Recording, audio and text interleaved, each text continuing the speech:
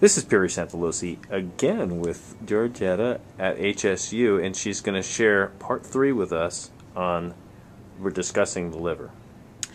Uh, I was amazed by reading this book by Andrea Moritz, uh, The Liver Gallbladder Miracle Cleanse, how much I learned about uh, what's the liver influencing from the hormones to the moods to the digestion to the elimination. Everything is controlled by the liver. It's like our second brain.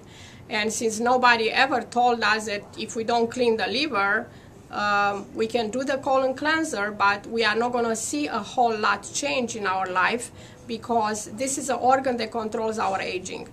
And uh, this book explains uh, and in detail a cleanse, very simple to do, uh, flush, and uh, it's amazing. It's amazing how much it can change and how I've been working uh, in the last couple of years uh, against the aging process, and I feel like I'm definitely seeing improvement in my health, and I feel like I'm reversing my aging.